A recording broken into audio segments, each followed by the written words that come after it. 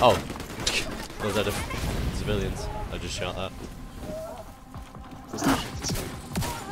It's fine, they liked it.